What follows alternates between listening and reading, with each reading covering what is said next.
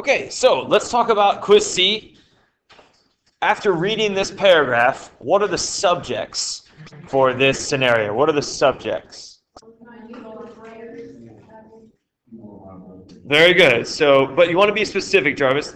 These specific 90 volunteers with higher than average blood pressure.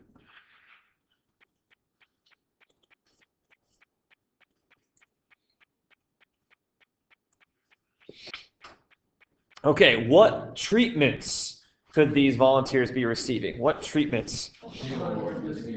Okay, so 100 milligrams, 200 milligrams, or the placebo. So 100 milligrams, 200 milligrams, or the placebo, which hopefully all of these look exactly the same. What do you care about? What are you writing down at the end of this study? The blood pressure. And hopefully, it's a decrease, right? Hopefully. We're hoping for, fingers crossed, a decrease in blood pressure.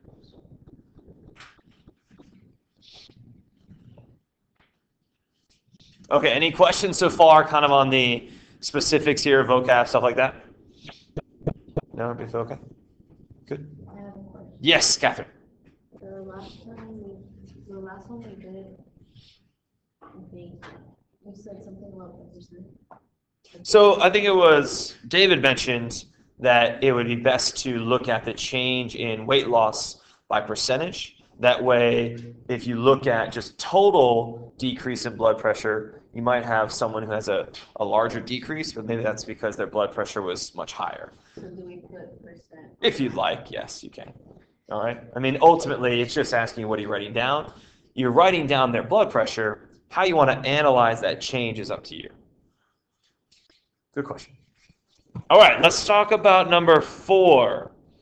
What would be an advantage to randomly assigning these treatments, right? We have 90 volunteers and we have three different treatments, so we should randomly assign 30 to be in each group. And I told you guys uh, yesterday with the dogs, it's as easy as just writing down some kind of number or name associated with these people, putting into a big tub, mixing it up, and pulling out their names one at a time. So what, what, what is something that we talked about yesterday in the lecture that is a benefit to randomly assigning treatments? What's a benefit to using random assignment of treatments? Anybody remember? Yes, you definitely don't want to have any issues with bias, so you can say that. But there's a key kind of phrase or words that I like to use when I talk about random assignments. Okay? What do you guys know? I'm not in the medical field. Some of you might work in the medical field or be interested in going into medicine. What are factors that cause someone to have high blood pressure? Diet, Diet, genetics. genetics. Jarvis is the only person. Stress, environment. Right. I don't know, right? Sounds good. Sounds like you know what you're talking about. Sleep. Okay. Do we know all of that about these patients, about these volunteers?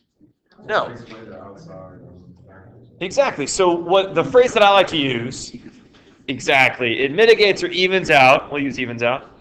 So it evens out unknown factors that could impact our results. Right? I mean, think about stress causing blood pressure to go up. Right? Do we know the occupations for these 90 people? No. And people might have high stress, low stress jobs. You're going to find out that when you guys have your job, sometimes you have low stress periods, right? And then high stress periods. Okay? So we don't know what's going on in their lives that could affect the blood pressure results. Yes. Uh, a random assignment was an advantage for every experiment. Yes, yes, it always is. Always, Always is. But like, Why do you say no? because, like, when we get to six. That's different than random assignment. We're going to talk about six. Let's come to six. Go back to you. Yes. Michelle? Well, everybody, like a hundred milligrams, everybody that was in, like, was chosen people have diabetes, but. you can treat- Okay, hold on, hold on. Now you're talking about a different thing there. You just threw something, just like casually, just mentioned something. You're talking about blocking.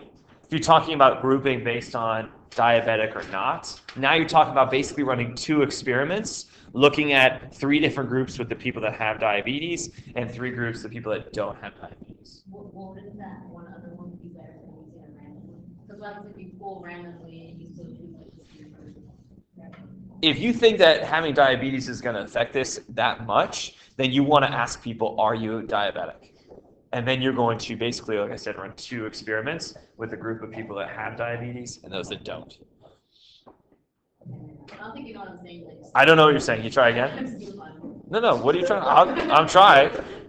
I think it was similar to what Jarvis was saying, but yeah. So I think what you guys are trying to say is, we're asking for volunteers, specifically volunteers that have what?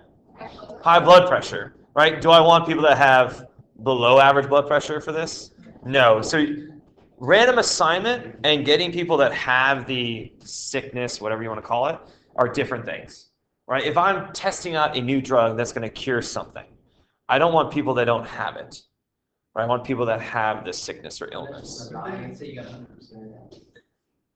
No, I don't want to do that, right? But then when you say that, like, saying specifically that only people that have this can participate, isn't that not random anymore? Because then you, you specified in the population, I only want to test these people. Yes, but why would you want to test someone who doesn't have it?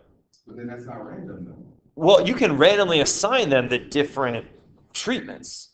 My brain sees them as two separate things. I'm trying to get you to see that you're asking about two separate things, not the same thing, right? What you guys are asking is really good questions, right? When you sample from a population, you're not doing anything like that. You want everyone. But when you are trying to specifically look at treating something, you want people that are afflicted with that illness only right? I don't want someone to go through this if they don't have higher than average blood pressure. Um, No, you don't have to say I get it. It's all good. Then the thing is, how do you know? You have to know these people have high blood pressure. Correct. not random anymore. Okay, I'm not talking. Like, I'm not talking about randomly getting 90 people. I'm talking about randomly assigning those 90 people to treatments. It's always beneficial to randomly assign treatments.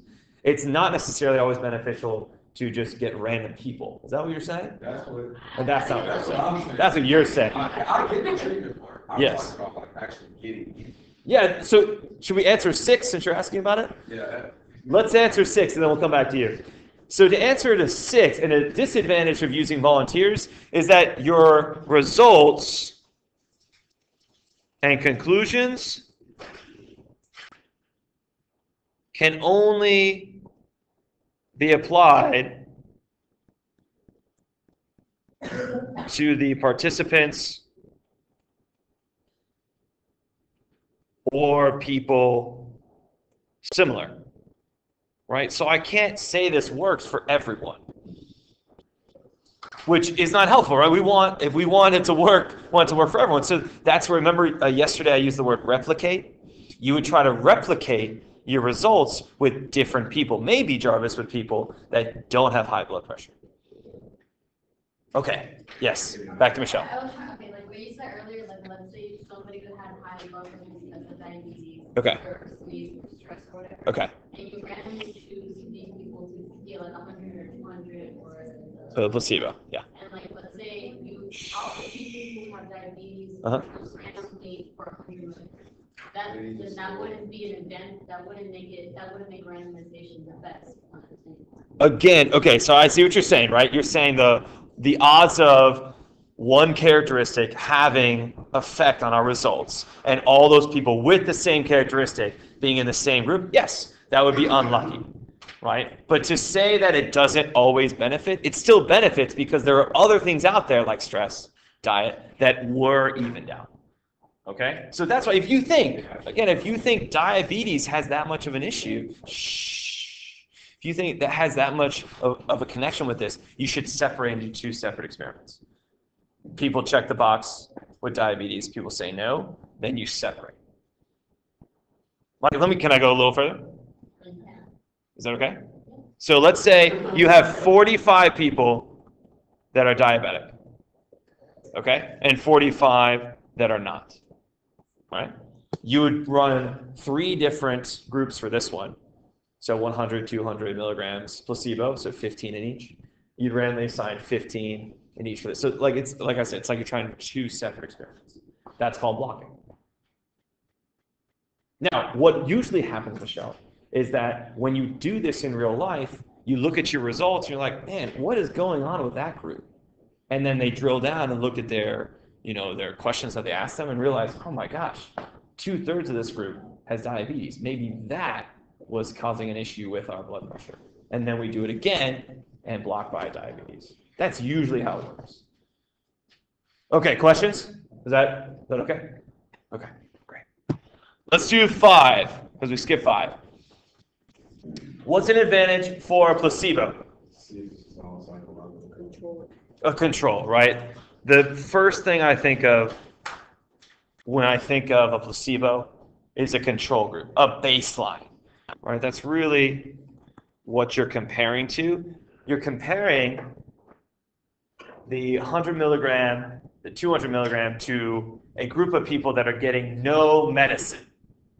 Okay? In theory, they're getting no medicine in their body to help lower their blood pressure. All right? So some of those people will have lower blood pressure at the end of this because of a number of things. All right?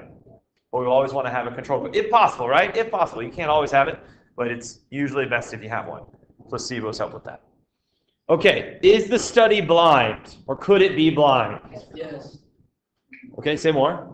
uh, they can be one side, they- Single blind? Yeah, which medicine they're getting. Okay, so if the volunteers are not told, This is randomly assigned. then it could be single blind. But you can still randomly assign and then tell them. You've been randomly assigned to the placebo. Right? That kind of defeats the purpose of having a placebo. You don't want to tell someone they're not getting medicine. But And you still take it? isn't that like not blind? Like, You know. Well, all these 90 people, they sign up, they fill out, I'm sure they sign 8,000 pages of documents, and they're basically saying, I agree to consent to the study to get medicine. And in there, it will tell them, your medicine might not be medicine. Like everyone who's in something like this knows that there is a chance they're not getting medicine. So what are they getting? Like. Sugar. Yeah, you feel great. What if you're like diabetic? Well, again, if you think we're back to the diabetes. Again, if you think that's a problem, they would disclose that in their medical information. What about, no, I'm talking about like diabetic studies, like what do they get? Nothing. I have no idea. I feel like this is what a great opportunity to use Google. Yes. What did I write? Something. Told No, no, on top. People similar some, no, the one on the other side of the. Participants. participants. I have very great handwriting. Participants. So how can it be double? So that's okay. So Catherine's ready to come back. Great, excellent. So I think I think we all would be pretty confident that it's single blind at least because the patients, the volunteers don't know what medicine they've received. But how can we make sure it's double blind? The doctors. Okay, doctor, but even more than that, it's like the doctors give them, they don't they might not know. But then how are they gonna? Who? The one who's the people running it, right? Maybe it's also doctors, I don't know. Yes, the people so analyzing the data. You to be double blind, to be double blind, I mean it's really everyone. All right, and that includes those evaluating results. But then how are they gonna know? Someone knows, right? Someone knows. So like the way I view it, the way I view it is like this, Catherine. I I am my company wants to do this. Not mine. So I work for a company that wants to do this. Okay. I have been tasked with completing this whole thing. Okay. So I hire ten people. All right. Okay. Twenty-two people. Okay. I hire a number of people to go out and find 90 people that we want to use for this. Okay. Then I also make phone calls to eight physicians. Okay. Then I also make a phone call to 10 people to analyze the results. So I know, but I'm not in charge of analyzing the data at the end. All right. I hire someone else, like another company. Exactly. And they tell me the results. And then I say, oh, look at that. You told me the 100 milligram group, we'll call it group A. You told me group A showed the largest decrease percentage wise in blood pressure. That was the 100 milligram. So at the end, after we conclude this group showed the best results, then we can, like, you know, move the curtain back and see which treatment it was. Yes, but I get paid the most amount of money, right? It's, it's my made up scenario. I have no idea. Oh, you get the most in your made up scenario? Always, right? You don't in yours? No. So. Okay. They know they're in different groups, but they don't know which medicine. Correct, right? You might even be told you're in group A, Oh, but you don't know what that means. Remember, you signed something that tells you what all of this means, right? It takes, like with my father's experience, it takes a months to get approved for this. Yes, a lot of paperwork, a lot of doctor's appointments, a lot of like basically like weeding you out because they it's with this kind of stuff. I know this seems pretty generic. Usually with these drug trials, it's super specific who they want. Super specific. Okay. Oh, I would hope that my father's trial is double blind. Yes. But I was asking about like, the double blind, like, those evaluating, those evaluating the results would know that the participants are in different groups. Correct. Or they're just. Probably. They would probably be given, here's group A, analyze those results. Here's group B, analyze them. Here's group C, now compare them. They'd probably be given everything except for group A means this treatment. Yes. The people who are like taking the medicine, is that at the company or? Well, it could be, usually I, okay, again, you, I'm stepping very much out of my realm of expertise. Um, a lot of times it's a combination, right? A lot of times you'll have governments fund these trials, all right? Sometimes they don't. Sometimes it's funded. Sometimes it's funded by individuals or groups, all right? But ultimately, the hope is is that no matter what happens, if it's a positive thing, you want to replicate it. Or you got to do it many times. All right, like think about every time. I don't know how often you guys think about this because you're young, but think about in your lifetime how many times you see a new vaccine has come out. Right? I mean, for a while there was a big boom in vaccines. There was like a period of not much. Right now, my kids get the chickenpox vaccine. That was not a thing when I was a kid. You did not get a shot to avoid having the chickenpox. You just got the chickenpox and then you were immune. All right? So that happened and that was funded by someone. And now someone makes a ton of money because they produce that vaccine. Did there chicken pop uh, parties? Like. Yeah, like when my when I got it, my little brother who was five years younger than me, they my parents were like, okay, Will, go hang out with Douglas. Make sure you get it. And we did. We both. I mean, I had it and he got it. I thought that vaccine. like, was- Stick together. Say it again. It was- Yeah, no, so no vaccine is 100%, right? The idea is like my children get, like if you think about the hepatitis B shot, right? That shot you get three times. So that way, they, the doctors will tell you is your first shot, 85% chance you're not going to get it. Your second one, 95%. Your third one, 99% likely you're not going to get it. They can't tell you you're not going to get it for sure. Right, but that's why when you see the stories in like our city and other cities around the country that have issues of like the measles outbreak, like there's been a rise in that because people are not getting that shot, and so kids are getting it, and it was not a thing 10, 15 years ago. Uh, Say it again. I'm gonna go ahead and stop this because we're